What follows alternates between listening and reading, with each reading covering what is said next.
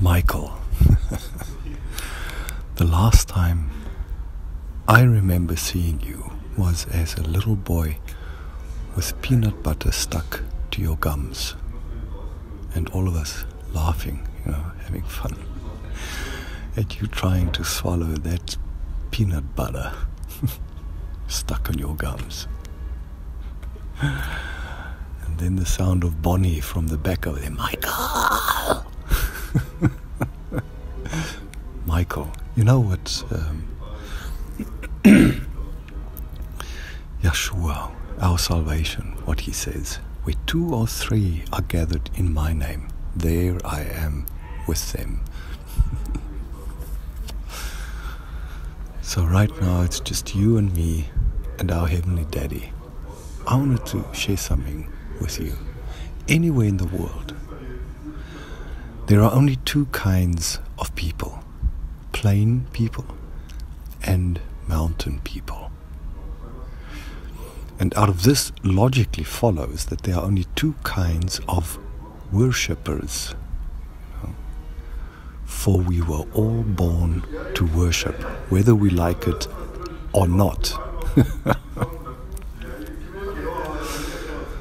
look at people, look at the plain people around you. They worship even against their will. They hate the things they worship, but they can't help worshipping them. so, worshippers of mountains, and by the way, I wrote this on the way back from work. I did some over overtime in the office, so I can handle all the stress tomorrow. so, this I wrote in the tram on my way back home.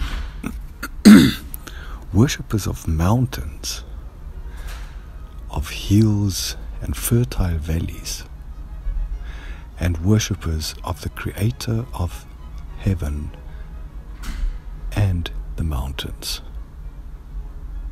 You get that? David was a mountain man. In uh, the book of the melody of praise, the book of Psalms actually means melody of praise. So in Melody of Praise, chapter 121, we read I look up to the mountains. Does my strength come from the mountains? No. My strength comes from God, who made heaven and earth and mountains. He won't let you stumble. Your guardian won't fall asleep, not on your life.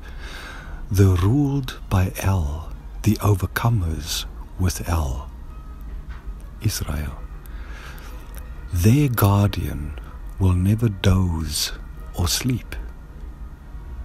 God is our guardian, right at our side to protect us, shielding us from sunstroke, sheltering us from moonstroke. He guards us from every evil. He guards our very lives. Even in South Africa, even in Vienna. He guards us when we leave and when we return. He guards us now. He guards us always.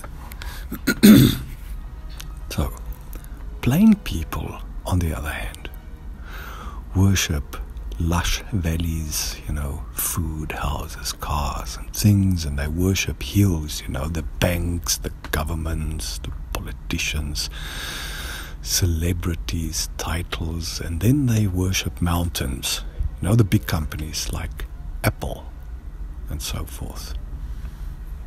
We're back in the garden, Mike. We have to choose again. Mountain people on the other hand, may use all of these things, you know, as little of it as possible, you know, keeping the apple until they force you to make an update kind of thing.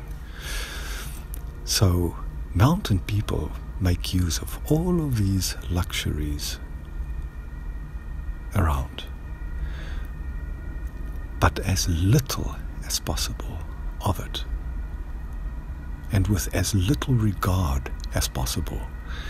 Because the whole while their spirits are looking upwards and inwards.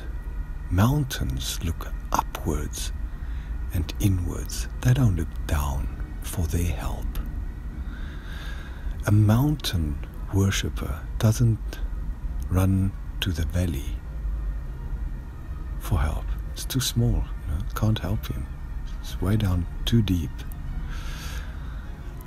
Mountain worshippers worship without ceasing their heavenly Father above everything else, above every human institution, above, above every gathering, above every friendship circle, feeding from the Word from heaven, from the mouth of the Creator. That is when living streams of water flow from their bellies into the valleys, down the mountainside, over the hills, and into the valleys, and into His creation.